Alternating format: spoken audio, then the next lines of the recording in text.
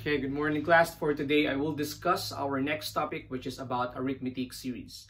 Arithmetic series is basically the sum of all the terms in a given arithmetic sequence. So how are we going to solve problems that involves arithmetic series? Like this one. What is the sum of the first 50 positive integers? So first, let's try to illustrate what are those positive integers, 50 positive integers. Definitely, we will start with 1.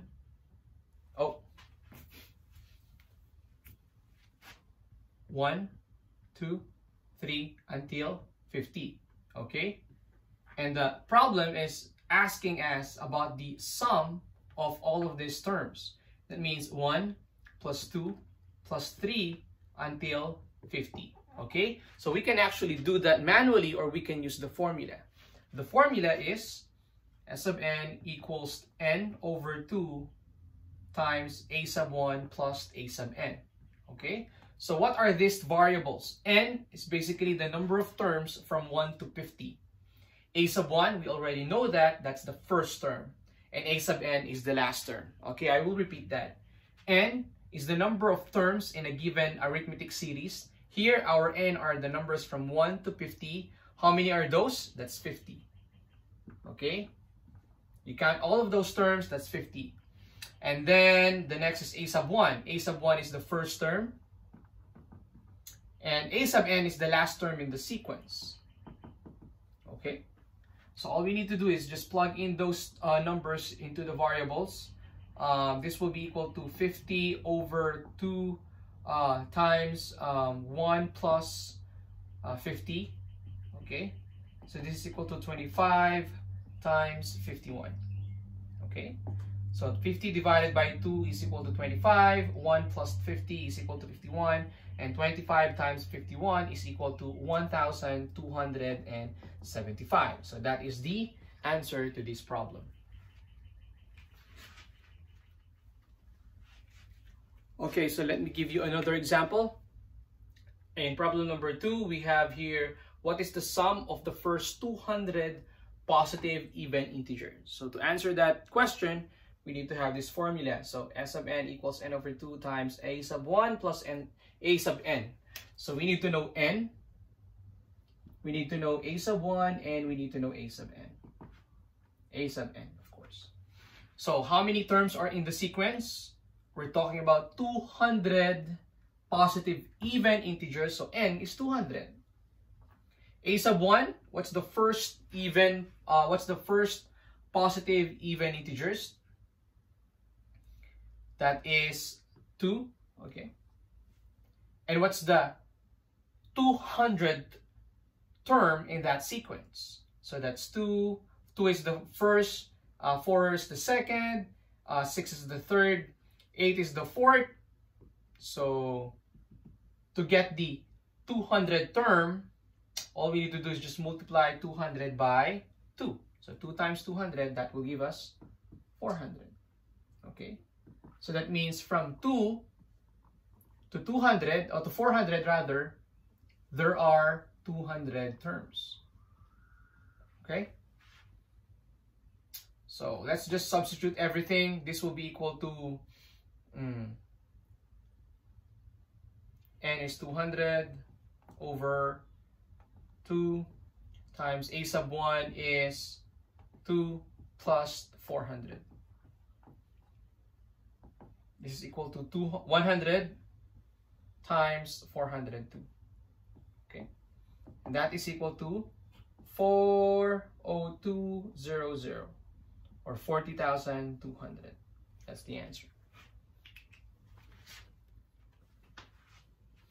Okay, so let's proceed to the third example. This time our problem is this one. So what's the sum of the odd integers from 1 to 300?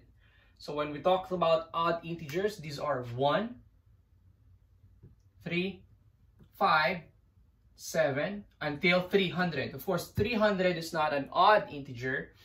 It's an even integer, but the number before that is odd, which is 299. So that means we will add 1, 3, uh, 5, 7, 9 until 299. Of course, we will still be using this formula.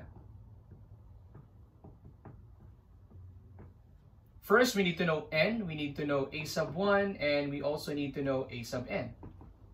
Okay, a sub 1 is obvious, that's 1. a sub n is also obvious, that's 299. n is what? How many are there from, how many terms are there from 1 to 299? So we just simply need to divide 300 by 2. So 300 divided by 2 equals uh, 150. Okay, why 2? Because the numbers from number 1 to 299 can either be odd or even. Odd or even. So if it's not odd, it's even. If it's not even, it's odd. So there are, two, there are only two kinds of numbers there. 300 divided by 2, that will give you 150. So that means there are 150 odd integers and at the same time there are also 150 even integers okay so this is 150 the next step is substitute those numbers here um, times 1 plus 299 equals uh, 150 divided by 2 is uh, 75 times 300 so 300 times 75 is equal to 22,500 and that is our answer. Okay, so let me give you uh, another example. This is the second to the last example in today's lesson. The problem is, what's the sum of the numbers divisible by 5 from 21 to 400? So our concerns are the numbers divisible by 5 from 21 to 400, okay? First, we need to identify what's the first number that is divisible by 5 from 21 to 400. Is 21 divisible by 5? Nope. How about 22? Nope. How about 23? Nope. How about 24? No again. How about 25? Yes, 25 is divisible by 5. So we will start with 25, not with 21. Okay? But the coverage of the numbers are from 21 to 400. Only those are divisible by 5. Okay?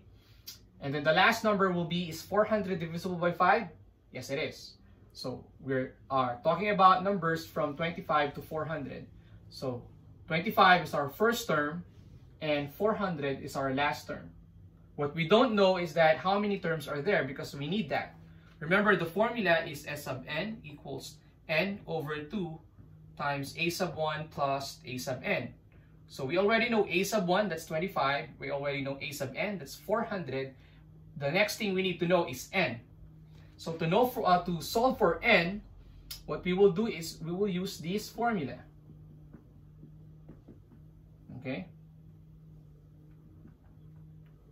So this is a sub n, that's the last term, which is 400, equals the first term, which is 25, plus d. So the common difference, since uh, all of the terms are divisible by 5, the common difference is 5 times n minus 1. Next is subtract 25 on both sides. We will cancel that. This is uh, 375 equals 5n minus 5. Okay, distribute that 5 to n and 1. Next is we add 5. Cancel that. We add 5 here. So this is equal to 5n equals uh, 380. Divided by 5, divided by 5, that is equal to 380 divided by 5 is equal to 76. So n is equal to 76. Okay? So now that we know n, the value of n, we can just simply plug in that here. So 76 over 2 times the first term, which is 25, and the last term, which is um, 400. 76 divided by 2 is equal to um, 38, right? Times uh, 425. And that is equal to 16,150. That is our answer. Okay, so this will be the last example in today's lesson. The problem is find the sum of the first 100 terms in the sequence 5 plus 8 plus 14 plus plus 11 plus 14. Okay, um, here again we will be using the formula s sub n equals n over 2 times a sub 1 plus a sub n. Okay, and we need to know all of those all of these three variables. Okay, n First 100 terms, so n is 100 over 2. a sub 1 is 5, that's the first term. Okay. Here, we don't know the last term. We don't know a sub n. Okay. So, but we already know the, the uh, formula for a sub n, right? So a sub n is equal to a sub 1 plus um, d times n minus 1. So let's solve first for a sub n. So a sub 1 is 5 plus d is, subtract this 2, that's equal to 3 times n is 100. Okay, minus 1. So this is equal to 5 plus 3 times 99. Okay. So 3 times 99 is equal to 297. Okay. And then we add this 2, the answer will be um, 302. So that's 302 here. Okay. So this is equal to 500, or sorry, 50 times 307. And that is equal to 1,000, uh, 15,350. 15,350. That's the answer.